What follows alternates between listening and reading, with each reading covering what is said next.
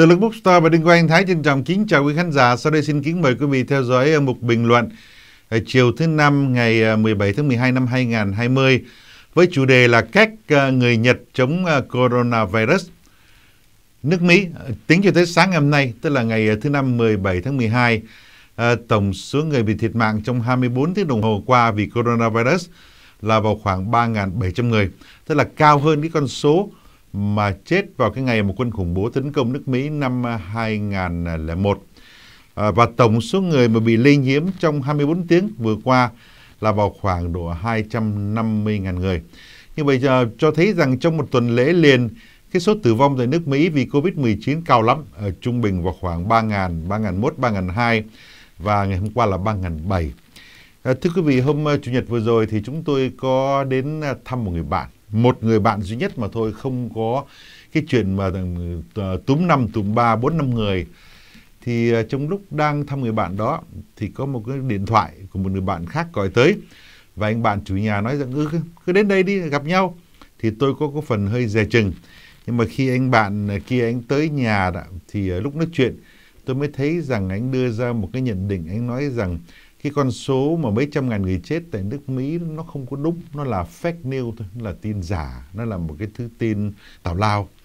Và bản thân của cái người mà vừa mới bước chân vào cái căn nhà đó nói với chúng tôi rằng anh ấy à, không đeo khẩu trang và anh đi uống cà phê đi tiếp xúc với nhiều người lắm. Thì tôi vội vàng rất lễ phép tôi xin phép vị chủ nhà và cái người bạn mới tới tôi bảo tôi có việc tôi phải đi uh, cho phép tôi đi bởi vì tới giờ hẹn rồi tôi vội vàng tôi mang khẩu trang ngay trong nhà rồi tôi la xe tôi đi ngay. À, có thể tôi bị mắng là một cái thằng chết nhát thổi đế.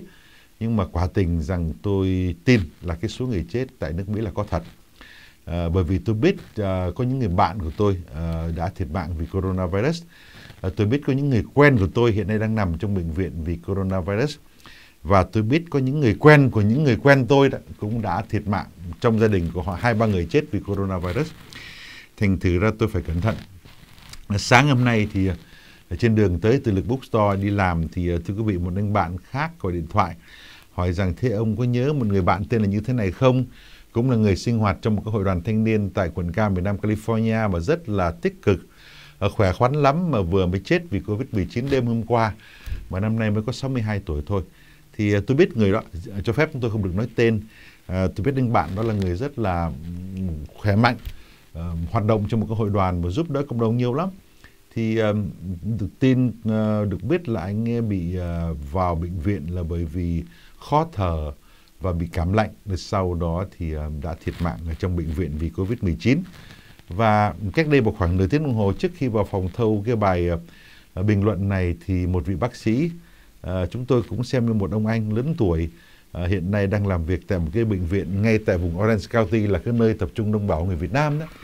Anh tới nói chuyện với chúng tôi, anh bảo rằng à, cách đây vào khoảng độ một tháng thôi thì à, khi làm việc trong một cái bệnh viện ở quận Cam đó, anh ghi nhận thấy rằng cái số người Mỹ bản xứ và cái số người mà thuộc các cộng đồng sắc tộc như là Latino, Mexico đó à, nhập vào bệnh viện vì Covid-19 cũng nhiều.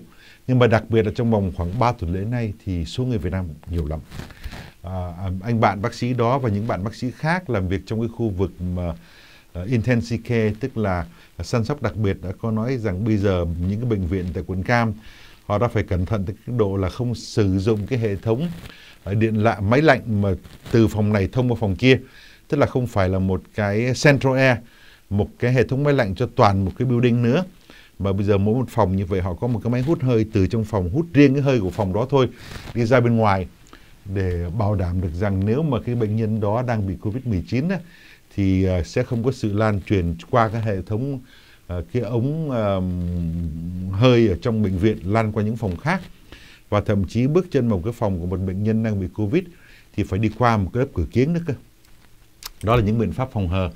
Nhưng mà anh bạn bác sĩ này nói rằng đáng buồn là bởi vì uh, khi nói chuyện với một số bệnh nhân người Việt Nam đang nằm ở trong các bệnh viện ở quận Cam đó thì những người đó cho biết rằng họ cũng ý y bởi vì sau một thời gian mà bị uh, cấm cản rồi bị giới hạn về vấn đề đi đứng rồi các tiệm ăn đóng cửa ờ, lúc thì mở cửa nên là cái số người được ngồi nó ít quá. Thì ờ, khi mà được lệnh mở cửa cách đây vào khoảng đã hơn một tháng hai tháng thì người ta túa ra đi ăn đi nhậu và tập trung ba bốn chục người không có mang khẩu trang, không giữ giãn cách xã hội. Và nhất là trong cái ngày lễ uh, Thanksgiving tức là lễ tạ ơn vừa qua thì mọi người cũng có lơ là đối với những cái yêu cầu của của um, CDC chẳng hạn hay là FDA của Mỹ. à, cho nên cái số người Việt chúng ta mà nằm trong bệnh viện tại quận Cam đông. à, chúng tôi có một người bạn à, hiện nay đang sống tại vùng Washington DC.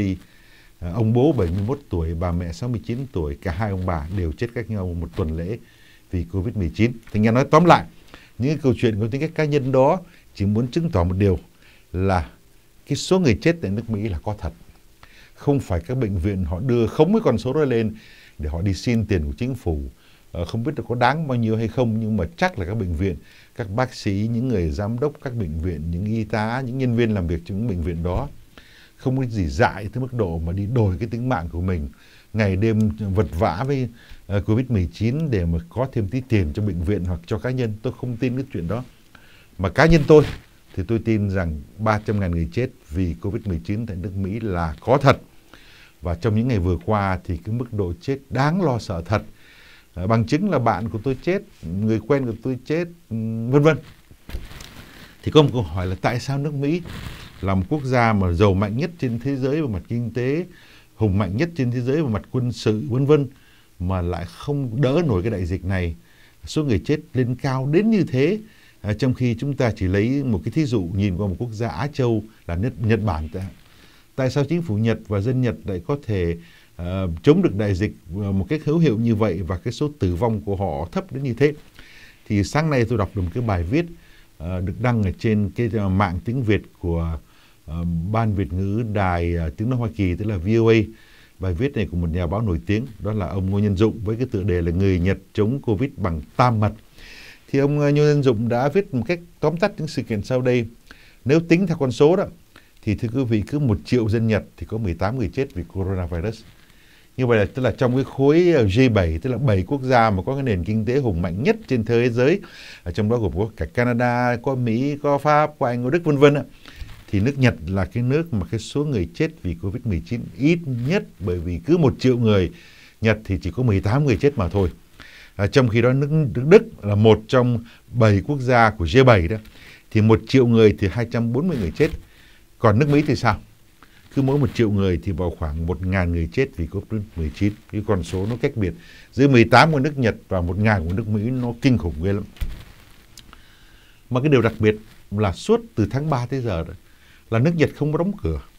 Nước Nhật cũng không cấm dân chúng phải ở trong nhà như trường hợp như là các tiểu bang California của nước Mỹ hay là nước Pháp, nước Anh, nước Ý giờ phút này vẫn còn cái lệnh cấm như vậy.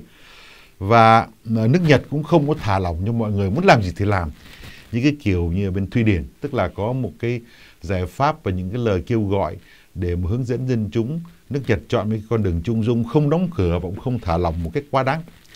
À, người ta thấy rằng dân Nhật vẫn đi ờ, uh, casino này, vẫn đi ăn uống này, nhà hàng không có đóng cửa, uh, xe điện ngầm vẫn chạy bình thường không?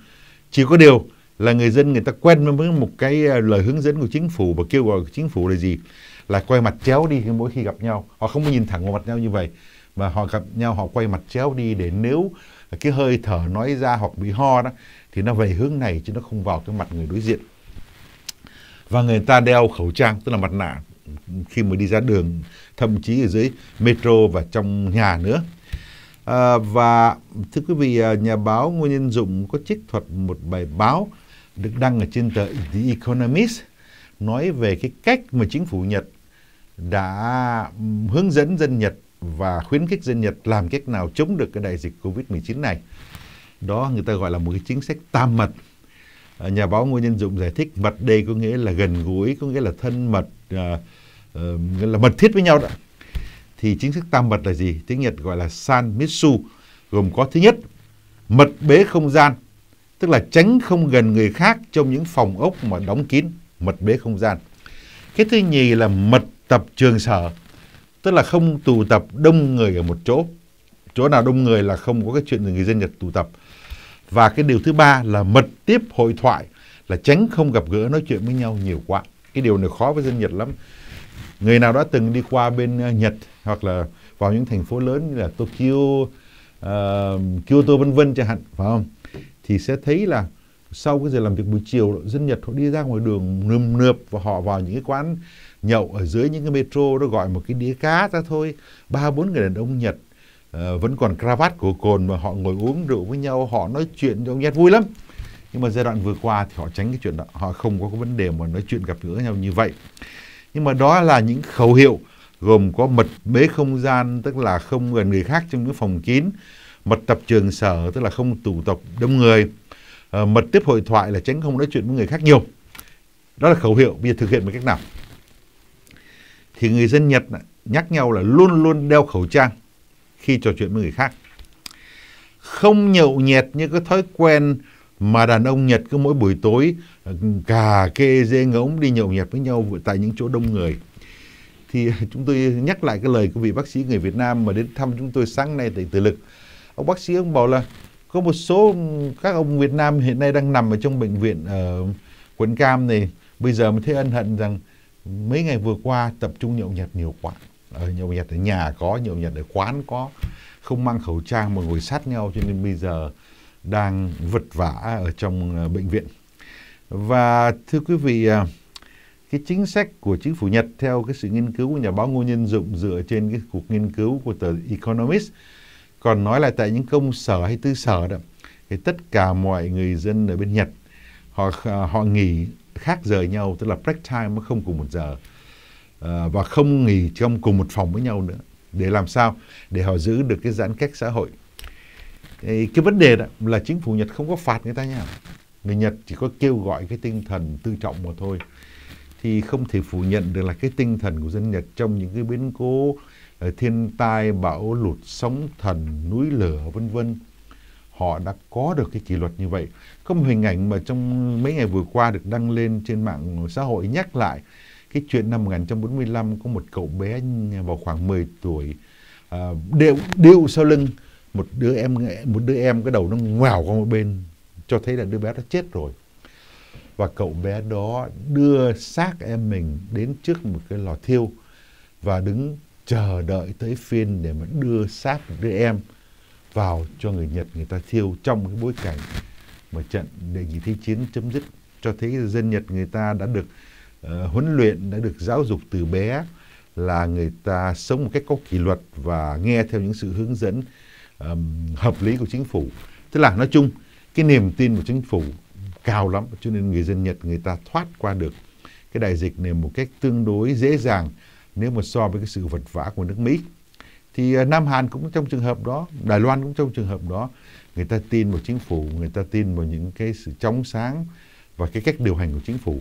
Còn như trường hợp Việt Nam đó, thì cái số người bị lây nhiễm cũng ít nhưng mà bởi vì Việt Nam sử dụng những biện pháp rất là hà khắc và độc tài bởi vì cái bản chất của chế độ hiện nay cầm quyền tại Việt Nam là độc tài còn tại Nhật Bản tại Nam Hàn tại Đài Loan. Người dân người ta tin chính phủ. Và chính phủ đã có một cách sống để cho người ta dân thấy rằng chính phủ rất là trong sáng trong vấn đề mà điều hành đất nước. Thì ờ, từ cấp lãnh đạo cho tới những người bộ sở, họ đều nói với dân như thế nào thì họ làm như thế. Họ bảo dân mang khẩu trang thì họ mang khẩu trang. Họ bảo dân giữ giãn cách xã hội thì họ giữ giãn cách xã hội. Còn như nước Mỹ chẳng hạn thì chúng ta thấy rằng từ lần cấp lãnh đạo cao nhất là tổng thống Trump uh, trong những cuộc gặp gỡ gần đây ông cũng không có mang khẩu trang và cũng không có kêu gọi những người dân mà đi đón chào ông mang khẩu trang cho nên số người lây nhiễm tại nước Mỹ cao. Uh, ông ngoại trưởng Hoa Kỳ Michael Pompeo ờ, đang đáng tiệc Giáng sinh năm nay ông tổ chức tại tư gia của ông ông đã gửi giấy mời là tới 900 người khác nhưng mà rút cuộc vào khoảng độ gần 100 người đến dự thôi à, không giữ giãn cách xã hội ngồi túm tụm với nhau trong những căn phòng như vậy thì à, đó là bản chất của một cái chế độ rất là tự do và phóng khoáng. Ừ, cho nên à, chúng ta phải trả cái giá đó là dân chúng người ta thấy rằng à, lãnh đạo cũng không có làm đúng những cái điều mà những cái người có trách nhiệm y tế kêu gọi. Thì người dân người ta có phần lơ là. Còn dân Nhật á, à, dân Đài Loan dân Nam Hàn thấy rằng lãnh đạo nói gì thì lãnh đạo làm như vậy. Đó cũng là yếu tố khiến cho nước Nhật à, Ờ, chống được đại dịch một cách uh, thành công và thưa quý vị xin được nhắc lại là cái con số 300.000 người tại Mỹ chết vì coronavirus là con số có thật. Uh, có nhiều người họ giấu họ không nói ra nhưng mà chúng ta biết là trong bạn bè Việt Nam, trong những gia đình Việt Nam mà có những người thiệt mạng vì Covid-19 là hoàn toàn có thật.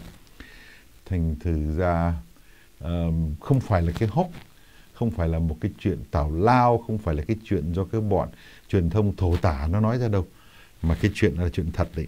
Thành ra nếu mà chúng ta muốn à, làm cho cái đà lây lan của coronavirus này nó giảm đi trong bối cảnh mà nước Mỹ đã có vaccine rồi để đời sống của chúng ta có thể từ từ trở lại một cách bình thường như là trước khi xảy ra đại dịch đó thì chúng ta phải uh, cố gắng hết sức để mà nghe theo lời của những viên chức uh, có trách nhiệm về mặt uh, y tế nước Mỹ, tức là nghe theo lời của những người làm khoa học như ông bác sĩ Anthony Fauci, như bà Deborah Birx, vân vân là chúng ta chịu khó những bước rất đơn giản thôi.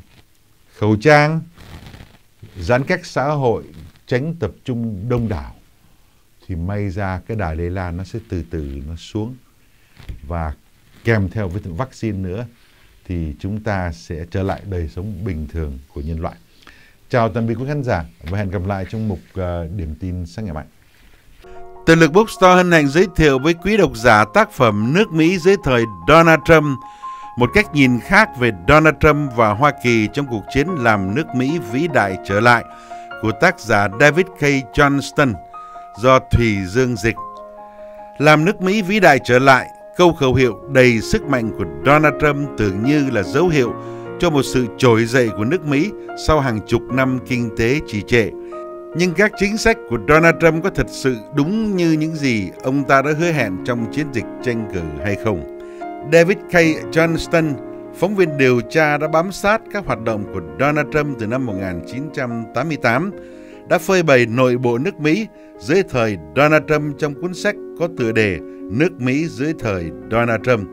Đây là cuốn sách được báo New York Times liệt vào sách bán chạy nhất, tức là bestseller. Vấn đề thu nhập lợi tức của người dân, thuế, việc làm, bức tường biên giới, biến đổi khí hậu, quân đội, quan hệ ngoại giao, chủng tộc, dân nhập cư vân vân, một loạt những khía cạnh sống còn của nước Mỹ đang được chính quyền Donald Trump cải cách ra sao. Sau rất nhiều ồn ào của truyền thông thì cuối cùng các chính sách mới có thật sự đặt nước Mỹ lên trước tiên và biến Hoa Kỳ trở thành vùng đất thịnh vượng một lần nữa hay sẽ càng bộc lộ những thực trạng báo động của đất nước Hoa Kỳ.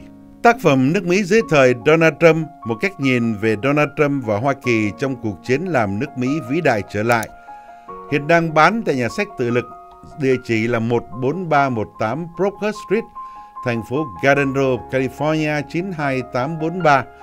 Điện thoại miễn phí là 1888 204 7749 1888 204 7749 và số điện thoại để quý độc giả gọi trực tiếp vào cho tự lực bookstore là 714 676 8310 714 676 8310 Độc giả xa muốn mua sách xin vào trang mạng của nhà sách tự lực là www.tự lực.com Nhà sách tự lực hân hạnh giới thiệu với quý độc giả tác phẩm Đi, Đọc và Viết sáng tác mới nhất của nhà văn Phạm Xuân Đài.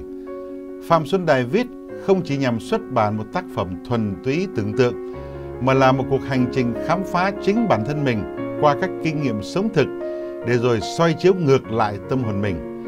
Đúng như tựa của cuốn sách là Đi, Đọc và Viết, Phạm Xuân Đài ghi lại những chuyến ngao du, ông quan sát, ông thu thập, rồi gạn lọc từng cảnh quan, từng sự kiện liên quan đến người và việc, rồi từ tốn dàn trải trên những trang giấy, như thể ông đang sống lại cảm giác của từng giây phút khi ông dừng lại các bến bờ vừa đặt chân tới, các vùng đất vừa bỏ lại sau lưng, để rồi rong ruổi đến một chặng nghỉ chân kế tiếp.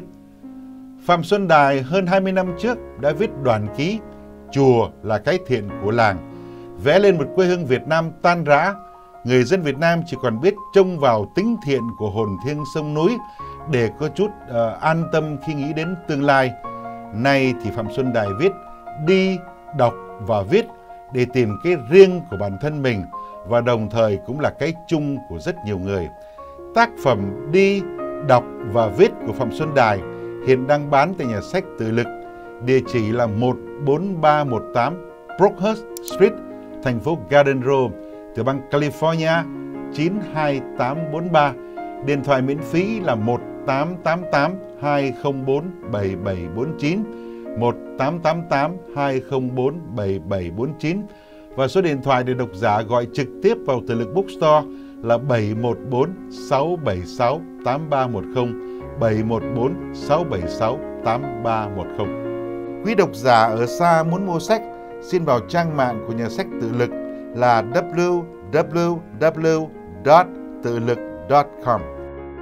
Ashitaba hân hạnh giới thiệu hai sản phẩm trà Ashitaba và bột dinh dưỡng Ashitaba 36 Energy Booster đặc chế từ lá cây Ashitaba, một dược thảo hiếm quý trồng từ đảo Hachicho, Nhật Bản, có khả năng điều hòa huyết áp và lượng đường trong máu, giảm cholesterol, thanh lọc máu huyết, giải độc cho gan, giúp ngủ ngon, chống lão hóa, tăng cường sức mạnh của hệ miễn nhiễm, giảm nguy cơ mắc bệnh nan y kể cả bệnh Alzheimer. Bột dinh dưỡng Ashitaba 36 Energy Booster, một thành tựu của nền công nghệ thực phẩm tiên tiến Nhật Bản, gồm 36 loại dược thảo đặc biệt như sâm Hoa Kỳ, sâm Siberia, trà xanh, nấm linh chi, bạch quả, hoa cúc, mè đen và nhiều loại hạt có đầy đủ dưỡng chất là một thực phẩm bổ dưỡng món ăn lý tưởng và an toàn cho mọi lứa tuổi, giúp giảm cân một cách tự nhiên cho những ai cần diet. Xin gọi 1888 204 7749 hoặc ghé trang nhà tự lực mo.com.